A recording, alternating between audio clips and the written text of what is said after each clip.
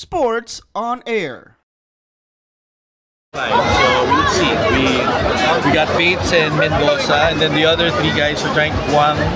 We'll see how they fit in. But those those last few guys, you just want to complete the team, see what you can get in terms of good attitude, sino mga hustler will we'll pick up the intensity in practice. But uh, we're we're happy with our picks. So yung mga guards natin, okay na tayo sa backcourt natin. We're focusing on sa front line. We took a hard, long look at it. Winston is very, very good. And I think he's gonna, he's perfect na nahulog siya sa converts kasi kailangan nila ng score. So perfect for him to do that, right? But uh, when we look, looked at it, ang hirap kumuha ng big man. Meralco, biggest, uh, highest pick we've gotten is fourth in my 10 years. So I think I think Bates will fit in. He's a good kid, he works hard, and it's what we need. What will be Brandon's role with Meralco? Uh, we'd love him to bang bodies. You know, you have to match up against the June Mar Fajardos of the world. Uh, he seems like a guy who works hard. Uh, we really need a big, because all our frontmen, the youngest guy is 31. And, you know, guys are 35, 30, Raymond's 35.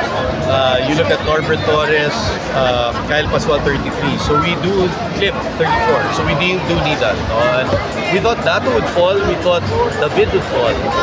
Uh, simply because they were unknowns, right? But I think they did enough. Uh, and then Bates is the one who fell. So think it's I think it's good for us. I happy to have it. So speaking of David and uh, and that and that, they were supposed to be outside the top in mock draft, but were you surprised that they were picked early in the draft? I think they played very, very well. I think in rain or shine, they showed what they can do. I think Blackwater, they came in and they did what they did. And those guys say high risk, high reward. But I'm my injury, but there's so much upside. David is a 6'6 guy who can play three, parang Danny Seigle type. You're not gonna get a guy like that, right? Good attitude, reads the place well. Datu naman, 6, uh, 6'7 guy who can shoot. So these guys are high risk, high reward. But the key with both of them, they're playing now. I think with Rain or Shine, if you got Lucero and Villegas, you're not playing in. And I think Jeff wants to make a splash now. So he can wait for Villegas, but he needs Datu to be play. So if David fell or Datu, I think that was the choice to them. So Coach, how feels na maging coach, head coach kayo ulit for the second time? I'm grateful. I'm going to be working closely with Coach Nenad and Coach Norman. In fact, he's he's our active consultant. So I'm just happy to help out. Whatever the company asks of me, I'm, I'm ready uh, to help out in any way. Import is here, Ferron Hunt. He's a bit young. It's his first time overseas, but I'm, I'm seeing that he's not used to the physicality, uh, the PBA brand of play, but we're helping him. He's, he's talented. Uh, medyo wing ang laro. Two years in the D-League, one, made one year in, in New York Knicks, but we didn't know we would be in the ESL. Uh, alam namin Ginebra. So now we have to get one more import to complement him. And alam natin yung labanan sa ESL is they've got big guys. So I think Brandon is important. And then naghahanap kami ng big man. So do you have a plan, do you have a target sino yung pangalawang import?